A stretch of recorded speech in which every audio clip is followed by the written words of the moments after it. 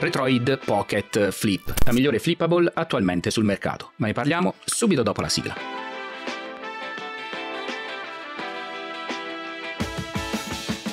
Ciao ragazzi, ben ritrovati come sempre qui sul mio canale YouTube. Se ricordate qualche giorno fa ho portato sul canale un unboxing e prime impressioni di questa Retroid Pocket Flip e se ricordate anche vi avevo detto che queste erano davvero positive e infatti le ho confermate giocandoci, divertendomici e soprattutto insomma non potendone fare più a meno. Questo la dice lunga su come questa console sia davvero top. Ma fermi un attimo ragazzi, quale occasione migliore per mostrarvi questo splendido quadretto che arriva da Behind Italia, che ringrazio, quadretto che contiene completamente smontato il gamepad dello SNES, vedete, Super Famicom, è bellissimo, tutti quanti i dettagli, tutto posizionato in una maniera precisa, perfetta e completamente fatto a mano ragazzi. Mi piace il fatto che il gamepad sia originale, non è una copia presa e messa qui, guardate anche i segni di eh, usura, sono fantastici. Ringrazio ancora Behind Italia per avermelo inviato ragazzi, vi lascio il link per poterlo acquistare, per poter vedere altri prodotti prodotti qui sotto in descrizione, mi raccomando dategli un'occhiata perché vale davvero la pena.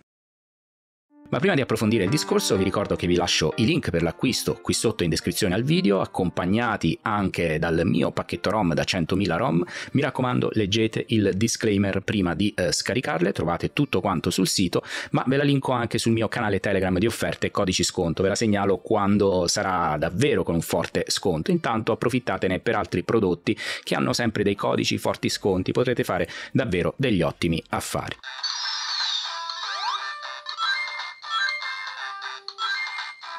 Ma insomma, prima di andare avanti, vediamo un attimo cosa vi arriva a casa nel momento in cui acquistate la console. Vi vedrete recapitata la solita scatola Retroid, sempre molto ben curata, al suo interno troverete un fogliettino cartonato dove nella parte posteriore ci saranno indicati tutti quanti i comandi principali della console. Troverete la console vera e propria, avvolta in una plastica, così come il cavo di ricarica da USB di tipo A ad USB di tipo C. Nient'altro, ma va bene così. Per ciò che che concerne invece il form factor della console, prima di arrivare alle sue caratteristiche tecniche, che vi spoilerò già adesso sono identiche alla Retroid Pocket 3 Plus.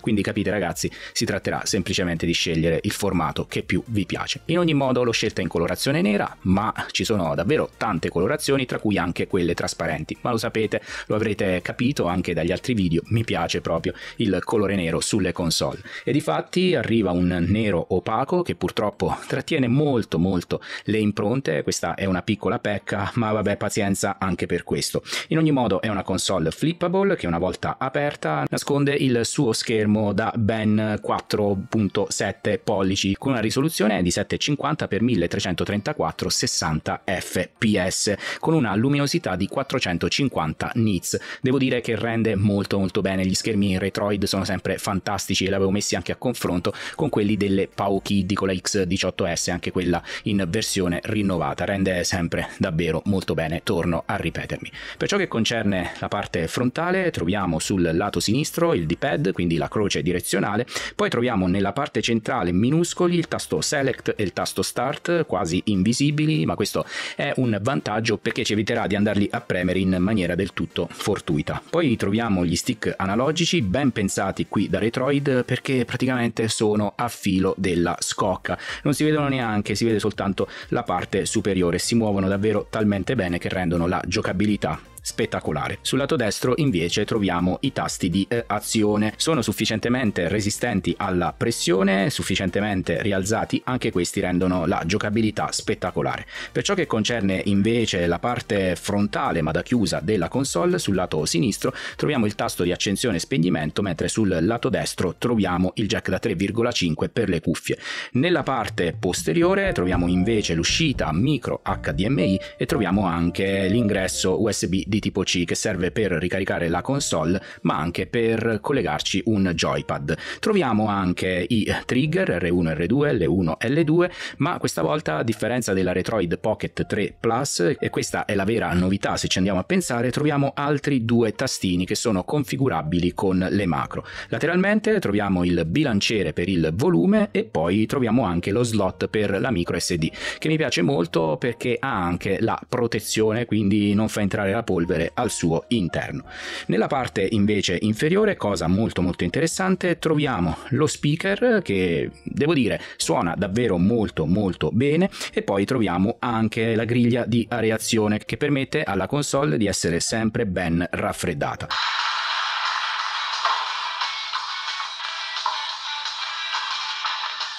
Passiamo adesso invece alle sue caratteristiche tecniche. Processore troviamo un Unisoc Tiger T618 e un octa-core 6 core più 2 core all'occorrenza. La GPU è una Mali G52 850 MHz, per ciò che concerne invece la RAM troviamo 4 GB DDR4 a 1866 MHz di frequenza. Per quanto riguarda invece la memoria ROM, la memoria interna sono 128 GB e MMC 5.1.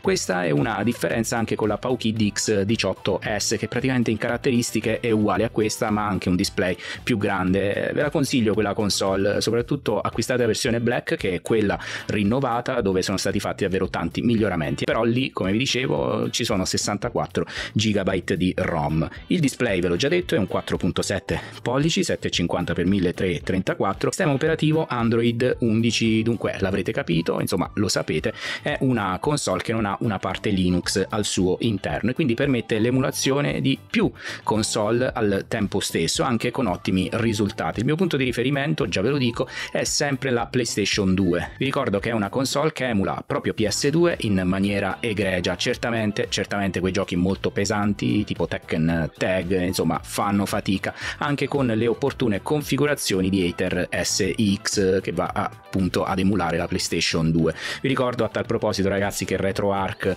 eh, tutti quanti questi emulatori vanno sempre ben eh, configurati, magari attivati i driver Vulkan per ciò che concerne il video, attivato il frame skipping per evitare che l'audio magari vada appunto a eh, gracchiare e così via. Non potete mai giocarci senza una configurazione previa. E a tal proposito, senza che lo faccio per questa, vi rimando al video sulla configurazione della Retroid Pocket 3 Plus, proprio perché è identico. Ed è identico perché anche questa Pocket Flip ha il famoso, il bellissimo, se volete, launcher proprio di Retroid che è super configurabile e permette davvero tante implementazioni. E se volessimo fare un paragone con quello della PowKiddy, questo è migliore, quello della PowKiddy è proprio pessimo, vi conviene utilizzare proprio eh, Android stock punto e basta installare le app. Per ciò che concerne il comparto batteria abbiamo una 5000 mAh che permette di giocare 8 ore dichiarate, ma insomma diciamo che a pieno carico ce ne facciamo diciamo 5 o 6 come sempre. È dotata anche di un'ottima connettività Bluetooth 5.0 che permette di collegare uno o più joypad, vi ricordo anche che vanno configurati in RetroArch per poterli far funzionare per bene, ma eh, qualora collegaste anche delle cuffie True Wireless vi permetterà anche di non avere lag tra audio e video. Wi-Fi dual band AC, micro SD, micro HDMI come vi dicevo ed una porta USB di tipo C. Ma questo lo abbiamo visto quando abbiamo parlato del suo form factor.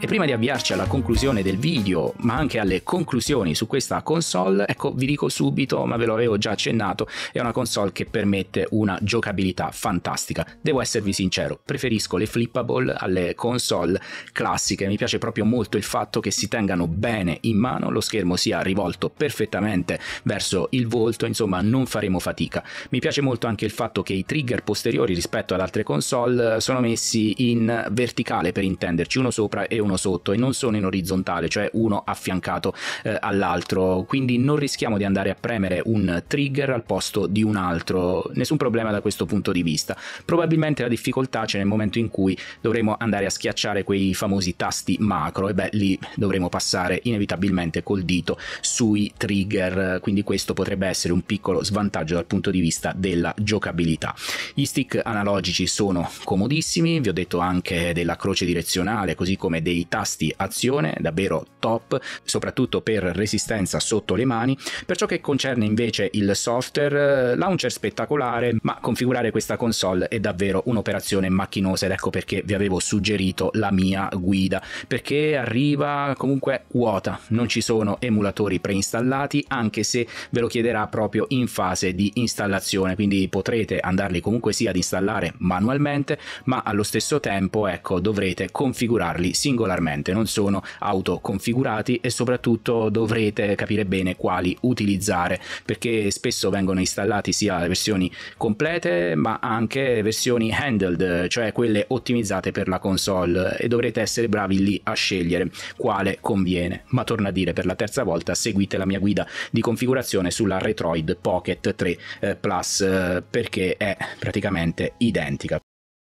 Arriviamo adesso alla fase di acquisto, la trovate sul sito Retroid a 164 dollari, quindi 20-25 dollari in più rispetto alla Retroid Pocket 3 Plus, ma vi ricordo che in fase di conclusione dell'ordine vi verranno aggiunte delle tasse doganali. Anche qui vi do il solito consiglio, potrebbe essere anche non uguale per tutti, come qualcuno di voi mi ha già segnalato in qualche commento, però per esperienza personale, nel momento in cui vado a scegliere DHL, oltre a quanto già calcolato in fase fase finale di acquisto spesso DHL ricarica con 40-50 euro in più di tasse doganali o meglio tasse per lo sdoganamento. E vi verranno chieste proprio per sdoganare la uh, console altrimenti non vi arriverà a casa. Quindi questo potrebbe essere uno svantaggio. Certamente DHL consegna in meno tempo diciamo 7-8 giorni mentre qualora sceglieste e ve lo consiglio 4 pix proprio per non incorrere in tutto quanto questo beh una quindicina di giorni giorni e la console è a casa vostra. Pazientate, ma ne vale la pena.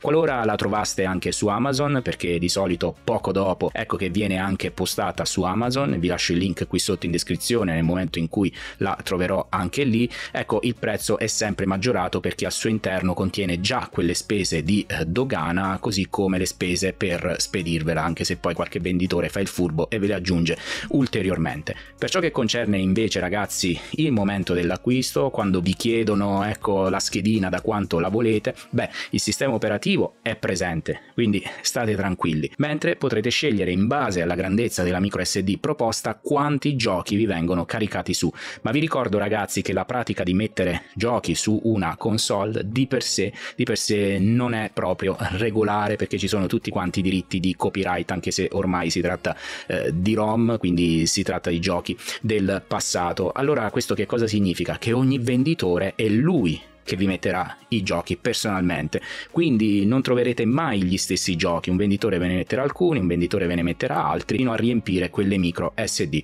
Se volete un consiglio, acquistatela al prezzo minimo, vi comprate voi la micro SD della grandezza che vi pare, vi lascio anche di quella il link qui sotto in descrizione, una veloce, una suggerita, e poi andatevi a scaricare il mio pacchetto ROM. A tal proposito, anche se ve lo accennavo in precedenza, vi dico che quel pacchetto ROM non è ottimizzato per nessuna console, quindi non mi chiedete come fare, come non devo fare. Sono ROM, sono divise per emulatore, poi vi basterà copiarle semplicemente, ma ancora una volta seguite la mia guida, così potrete poi usufruirne su questa console. Ma questo vale anche un po' per tutte quante le altre console recensite sul canale. Insomma ragazzi, un dispositivo pienamente, pienamente promosso, piccoli difettucci, i classici, la macchinosità della configurazione, il fatto che trattenga molto le impronte, ma per il resto davvero soddisfatto. E se vi è soddisfatto anche questo video, mi raccomando un like, l'iscrizione al canale sono per me la più grande forma di supporto, se vi va di abbonarvi, di fare una donazione PayPal perché ragazzi queste le acquisto per potervele portare, soprattutto in anteprima perché su YouTube Italia